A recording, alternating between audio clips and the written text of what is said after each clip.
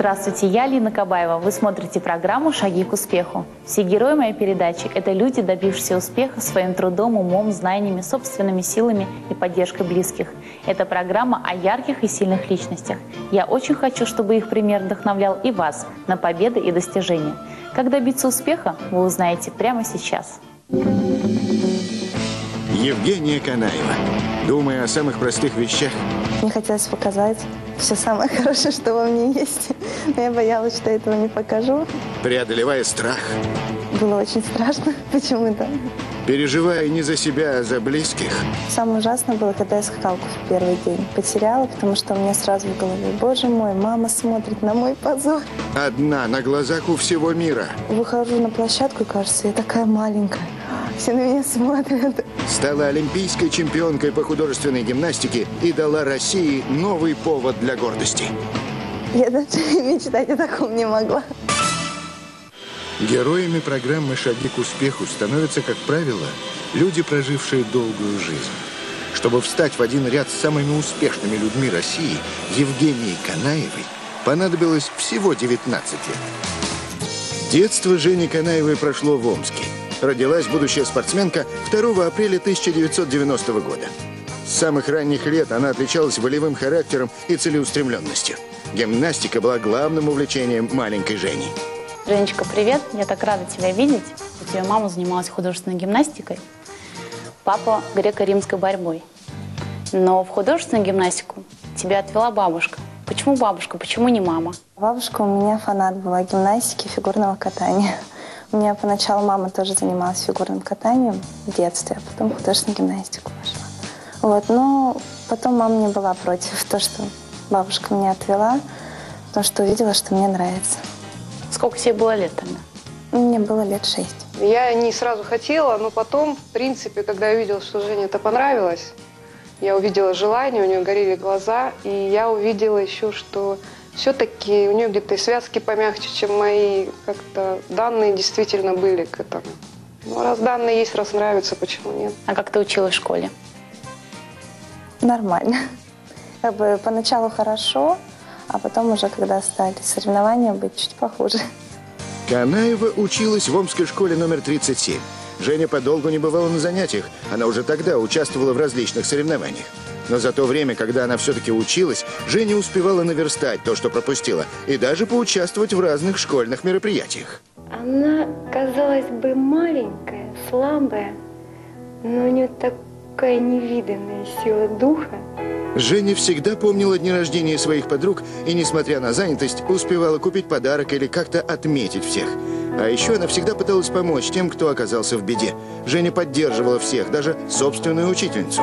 Впрочем, свою помощь она никогда не афишировала. Росла очень самостоятельной и очень общительной. Даже слишком общительной. Я по этому поводу переживала, потому что она начинала даже разговаривать с незнакомыми людьми и все как бы располагала их к себе она. То есть они довольно искренне с ней делились, взрослые люди, вот на таком взрослом уровне всегда. Кондуктор в автобусе, там, в кафе, там, продавец, официантка, она всегда, вот ее все интересовали, она очень была любознательной, так скажем. У нее мама сама гимнастка, мастер спорта по художественной гимнастике, поэтому мы пришли к нам заниматься. Смешная была маленькая. Ее садика бабушка приведет, она не умолкая, все расскажет, что она в садике ела, что она делала, что она как было. Принесет мне конфетку, положит Елене Николаевне конфетку, даст, угостит.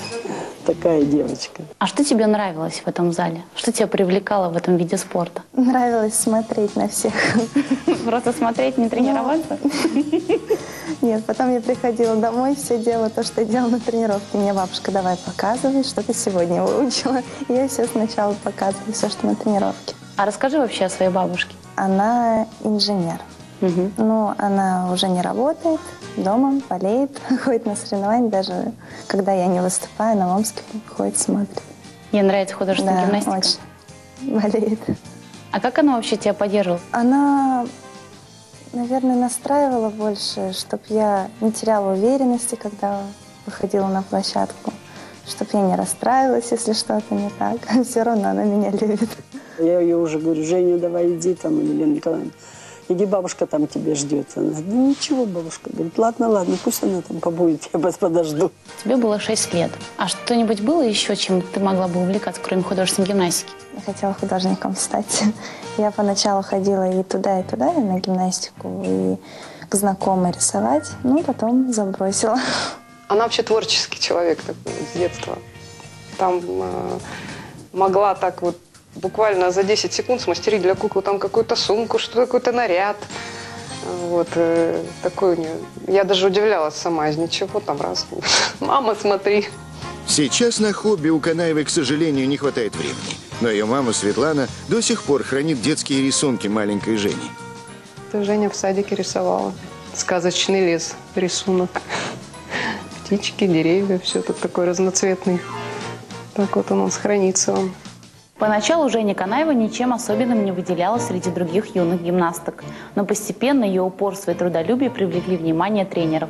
Она никогда не уходила из зала, не выполнив задание, не освоив новый элемент. Женя очень много трудится, потому что, в принципе, когда она маленькая была, была такая же, как и все. Так сказать, что это пришла звезда, такого не было. Когда ты пришла к Вере Фремени заниматься, сколько времени уходила на тренировки?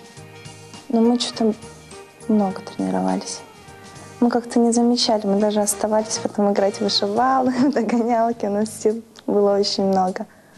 У нас где-то разминка была около двух часов, там, работа с предметом, потом уже программа. То есть это все было в игровой форме? Да. Омская школа художественной гимнастики – одна из лучших в России. Здесь родился совершенно особый, неповторимый стиль. Он кажется необыкновенно легким, но за этой кажущейся легкостью упорные тренировки и постоянная работа. Женя Канаева с самых первых уроков отличалась целеустремленностью и трудолюбием. Она никогда не поддавалась искушению дать слабину, отступиться от трудного элемента. И всегда у нее была такая отличительная черта, если на соревнованиях она выступает, и какой-то элемент у нее не очень хорошо получается на разминке, она его никогда не выбросит. Если вот некоторые гимнастки так действуют, что вот если что-то не получается, то я лучше не сделаю на эти соревнования, а потом как бы оттренирую и буду уже делать. Она никогда этого не делала. Если даже она там роняла этот бросок, она все-таки выходила маленькая. Ей было 9 лет, она делала суперсложный бросок, бросок двух булав, и как бы вот называется у нас два вертолета под броском. Это очень сложно. Даже для сейчас, для мастеров элемент. И он у нее не получался. Я ей говорю, я судила, я говорю, Жень, не надо, не делай, потом.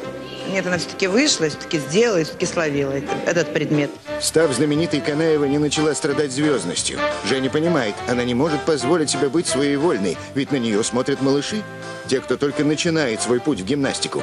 И как бы ни было трудно, Канаева знает, с нее уже берут пример. Она добрая и очень ласковая, а еще она очень гибкая. Женя всегда очень хорошо делает, улыбается на площадке и ставит высокие оценки, выше всех. Ну, как она с лентой работала, с мячиком, с обручем. Но она иногда подходит к нам, но это бывает не всегда. У нее у самой занятия много дел. Ну, чтобы выступить хорошо, она готовится. Как ты попала к Вере Фремени вообще? Ты же была в другой школе. Ну, я вначале пошла на гимнастику в гимназию, у нас там школа была. Меня тренировала молодая тренер Юля. Но я где-то буквально прозанималась полгода. Потом она вот э, дала адрес, где тренировала Вера Фремна.